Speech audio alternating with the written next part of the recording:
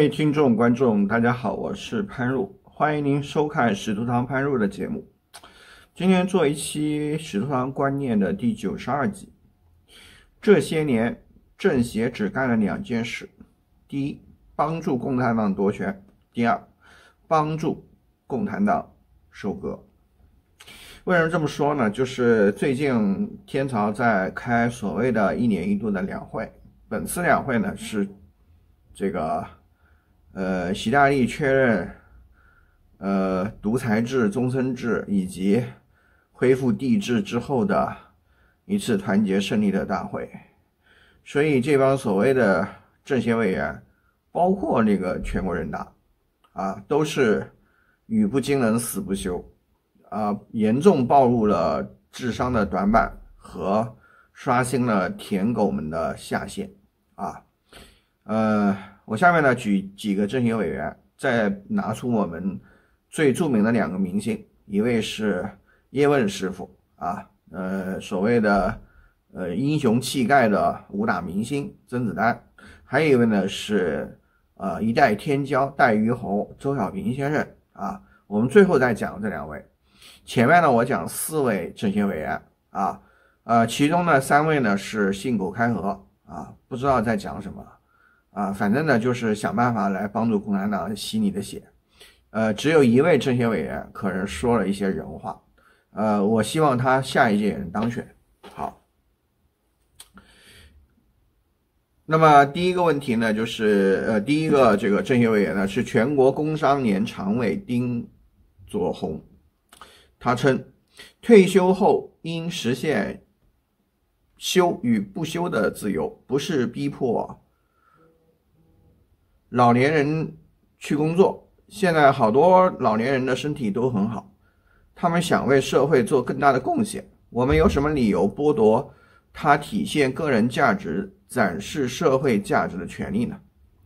全国政协委员啊，民建这个是民主建国会啊，八个花瓶党之一，广东省省委副主席，广东经财经。大学法学院院长卢晓明他说：“随着人口老龄化、少子化的后果逐渐显现，渐进式延迟退休是一个必然的选择。基于期待社会理性的认知啊，他是想让矿渣们继续的呃发挥余热啊。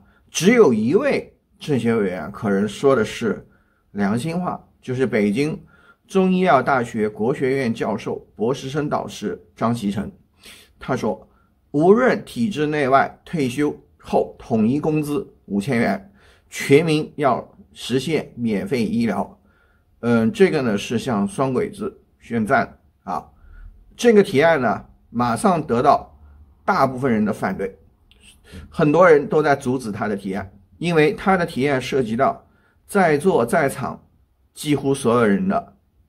特权者的利益，切身利。益啊，呃，我觉得呢，这位张其成是替真的替领导们考虑了，你们不要太狠，太狠的话，现中模式很快要到了，到时候火锅吃起来了可不管，只要身上有肉，都有可能成为两脚羊火锅的底料。所以这个问题呢，呃，我觉得张其成是帮党国解忧，但是我希望他下一届能够继续的连任。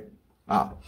人家全国政协委员、中山大学食品与健康工程研究院院长刘星说了，啊，他对双轨制非常的满意，他的解释也是刷新我的智商跟认知。他说，双轨制其实是为了廉政，让行政人员、公务员在职不贪污，专心投入工作，必须要给他们更高、更好的待遇。那我就问了，难道他那些贪污的全都是？韭菜贪污的全都是，呃，那些没有全职的人嘛？啊，那我问你，你抓了那么多贪污的是什么人啊？请你告诉我，好吧？啊，我就觉得这些政协委员，除了刚才那位中医药大学的北京中医药大学的刘其成，啊，张其成，其他的，我觉得这也叫提案，这个简直叫，这也是一个所谓的十几亿人口的，呃，因为他是政治上院，呃，政协是上院。他的一种贵族意愿就这种水平，我真的佩服啊。那么下面两位呢，就是我们今年的政治明星啊，一位是香港的武打小生甄子丹先生啊，嗯，咱们知道他是因为出演了著名的爱国鸡血剧《叶问》，然后红遍啊，呃，天朝啊，因为叶问呢教了一个好徒弟李小龙，李小龙是中国的鸡血的一个象征。啊，因为很多人鸡血刘小龙可以去打泰森，那你在做梦呢你啊，泰森讲的很清楚，我一拳就把李小龙打死了。呃，所以呢，叶问呢，呃，不，甄子丹说错了，呃，甄子丹投诚，叶问投诚，投诚共军，嗯，其实。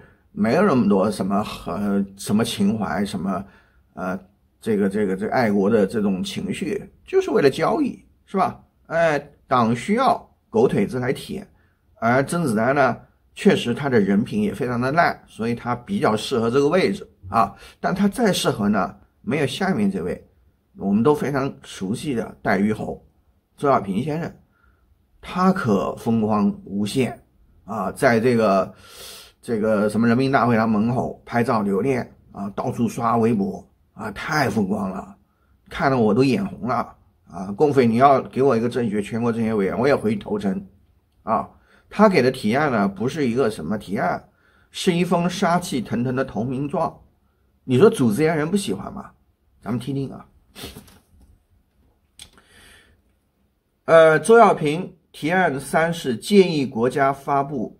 台省分裂势力名单，黑名单，啊，惩戒令，制裁支持台独的企业，呃，后面是一大堆啊。他讲，领导人在谈到对台问题上曾经有过论述，在中华民族复兴道路上，台胞不应该缺席，也一定不会缺席。显然，没有祖国的完整统一，就谈不上正式开启复兴的新征程。呃，这个是一个逻辑置换啊，他把这个。没有关系的两件事做成一个逻辑，这就是他们五毛的一个通用的手段啊啊！你要注意了啊，没有谈不上，前提是一定要统一才能伟大复兴啊，这是五毛的手段啊。因此，我提出了推动祖国完成大业的四点建议。你看，戴于侯人成为封疆大吏有他的过人之处啊。第一条是建议国家发布明确台省分裂撕裂人物。势力人物的黑名单的惩戒令后面有一堆啊，将长期勾结外国敌对势力，干扰祖国统一大业，制造分裂，出卖机密，掏空产业，呃，制涉毒教材和出版物和涉毒节目实控核心人员及涉毒资本实控人员、涉毒思想源头人员、涉毒实权政治人员，台岛电诈产业同目整治。整体整整理制作台省分裂势力黑名单，并公布于众。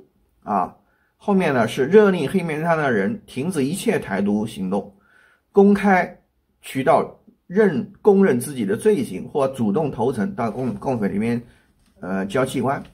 若这些人执迷不悟，持续制造分裂，引发两岸冲突，那么我们将展开对台特别行动。期间，特别行动，呃，就是大地的武力攻台。任何人都可以将其逮捕或击毙。你看啊，杀气腾腾，不仅不用承担任何的刑事责任，还能获得促进统一荣誉勋章。呃，这就是周代瑜的底色啊！这个狗腿子戴鱼猴王八蛋，他已经不是人了。呃，我觉得他跟那个损毛宗老二的郭沫若相比还差一点。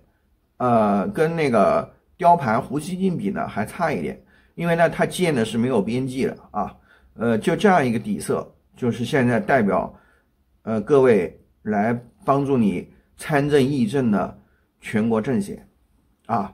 那么下一个问题呢，我要讲一个理论的问题了啊。呃，说实话，这个全国政协开召开已经召开了七十五年、七十六年，为什么？因为它比共产党执政早，它在。四十年代中期就开始开了，四五年、四六年就有政协会议了。为什么？你要知道，政治协商会议是促进中共执政上台的一个非常重要的推手。如果当年没有这些所谓的民主党派，这种泛民主建制派支持中共，可以说中共不是那么轻易的就能够夺取大陆政权啊。在二十世纪初期左派思潮的影响下，泛民主派先与共产党勾兑，给共产党抬轿洗地，把他们抬进了摆平中南海。当毛泽东垄断权力之后，这帮花瓶又被毛泽东过河拆桥，啊，在反右和大饥荒中被收拾了干净。你要知道，我们听过一个地名叫夹边沟啊，夹边沟呢，很多呢都是给这边右派准备的，而右派呢，其中一部分除了北大的学生之外，一部分就是这些所谓的政协的这些领导，各级政协的领导，啊，全国有五大右派，国家级右派，最后没有平反。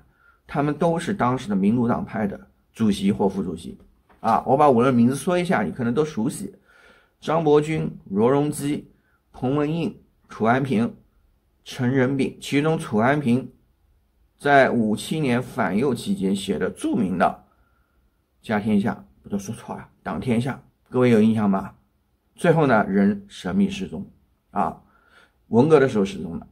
所以呢，这个七十多年之后呢，当下的政协委员的构成呢，比当年更要魔幻，因为当年还是主要是知识分子，啊，所谓的泛民主建制派。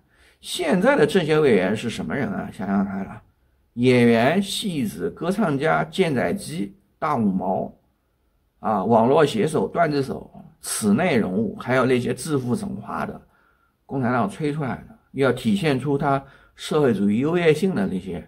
标兵，啊，还有那些装出来的道德楷模，呃，他们的作用就是两个，我在前面已经说过了。第一，帮助共产党夺权上台，提供合法性，这是它的历史作用；还有一个是当下的，帮助权贵家族，现在就习大利家族，包括他的利益集团的核心，听他话的政治局的其他常委，敲鼓吸髓。收割韭菜们提供麻醉剂，请大家想一想，是不是这样的？听他们提案听得云里雾里，你都听七十多年了，求求你醒醒可以吗？不要相信他们从菊花里放出的硫化氢，明白了没有，各位？好，以上呢就是我今天做的一个短节目，史书堂的第九十二期，呃，政治协商会议，他只干了两件事情。帮助共产党上台夺权，提供合法性，还有帮助权贵敲骨吸髓，提供麻醉剂。好，谢谢大家收看本期节目，我们下期节目见。也感谢您订阅我的频道，尤其是新频道，咱只有三百多个人，我真的是唉，心灰意冷啊！真的，我都想去大陆投诚了，不知道他们要不要我啊？请各位给给力，帮助传播，也顺便帮我有时间。工作的时候帮我挂一个窗口，啊，因为我现在没办法挂广告，饭都没着落啊，东蹭一顿西蹭一顿，请各位给给力啊！真的，你们是我的衣食父母，人在屋檐下不得不低头，我宁愿向你们低头，也不能向共产党低头，求求你，让我晚节保着啊，不能节操碎了一地，不能贱的像周小平一样，什么人都舔，屁股上还有屎都去舔。好，完毕。